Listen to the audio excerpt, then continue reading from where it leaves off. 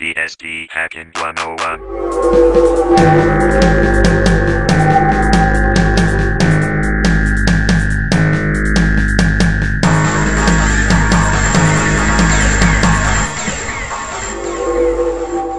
Hi, this is Pox. Welcome to PSP Hacking 101.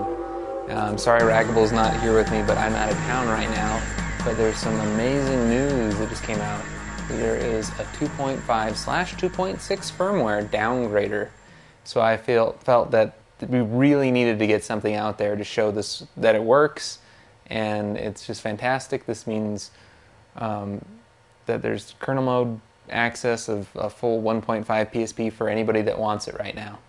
Uh, so let's get started with this. There's a few things you need to know before you get started. You want to make sure that your PSP is capable of this downgrade.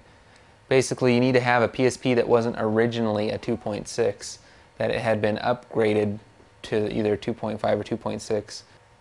One thing that you need to check is to make sure it's not a TA082. And to do that, you just go ahead and open up the UMD drive. You check on the PVC, make sure that there's no writing on there. So if it's blank inside of there, you don't see any writing on the little green board back there, then that means you're good to go. But if you do see writing and it says IC1003, that means don't do this. Unfortunately, that also means no mod chip for you. The first generation of the mod chip also will not work with your PSP. Um, also, this is still in beta stages, so that means it could potentially brick your PSP. And if you don't follow these steps exactly, I mean, even though you watch this video, you also want to go through the README, you want to check on our forums, every other forum out there on the PSP and PSP updates and everywhere, you know, before you risk bricking your PSP. Now, with that in mind, let's go ahead and get started with this. You'll need two PSPs. You're going to need a 1.5 PSP because the files necessary to downgrade to a 1.5 are on the 1.5. Okay, you're going to need a few files. There's a 1.5 helper, and it's just a normal executable uh, eboot that you load on your 1.5. You copy that over into your PSP games folder, these, these, these two files. And you're also going to need the Sony 1.5 upgrader eboot. So you need to make a directory in your PSP games directory called update, all capital letters, update. Then you're going to throw that Sony PSP 1.5 upgrader eboot into there. Once you've got all that on your memory stick for your 1.5 PSP, you're going to go ahead and launch that 1.5 helper application. That's going to run for a while, a long time, and it'll show some some feedback on the display showing that it's copying all the necessary files that you need from that 1.5 PSP and that Sony uh, 1.5 updater file. It's going to rip all the files out of there and put them into a folder called downdater on the root of your memory stick. Then you're done with 1.5 PSP. You can give it back to your friend or wherever you got it from. Then you're going to need to get whatever PSP you're downgrading, either a 2.5 or a 2.6 and you're going to need to put some files on the memory stick for that. Uh, all the files that we just ripped off the 1.5, so copy over that folder to the root of the memory stick on the PSP you're downgrading. Then you're also going to need to actually put the down dater test, we're using the beta right now, which is 05, on the PSP game directory. So just copy that whole folder in there. There should be one eboot in there. And then put in your copy of GTA, and you're also going to have to run the eloader. So if you've been using eloader to run homebrew, if not, you'll have to refer back to um, some of the older episodes.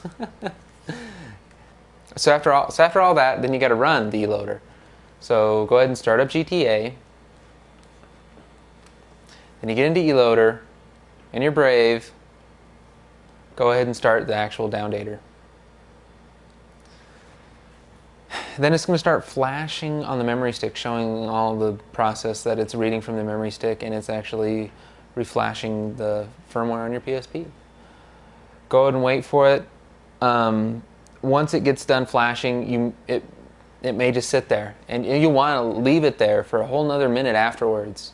Uh, in our case, it actually just rebooted automatically. and then it'll act like you've got a brand new 1.5 PSP. It'll ask you to reset your time and date and the name of your PSP and all your settings. So you can go ahead and do that. Uh, and you may or may not have a UMD load error. Uh, we did. So we had to go ahead and take out the battery and leave it for five minutes. Then, just to make sure all the power is totally gone from the PSP, put in the battery, turn it back on. UMD works just fine, and it'll tell you if you're using GTA, you need to upgrade to 2.0 because now you have a 1.5 PSP. So it works. Go ahead and load up whatever homebrew you want to. Have fun with your newly downgraded 1.5 PSP. Show it to all your friends. Have them do it. It's it's great news. It's fantastic that this is finally here. Um, and we'll be back with a video on how to install the mod chip next week if everything goes according to plan. I'm Pox. Have fun.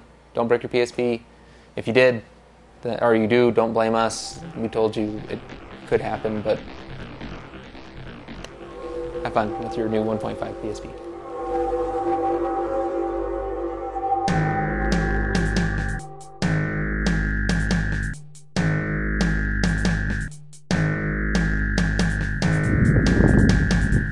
This has been a Too Smart Guys production.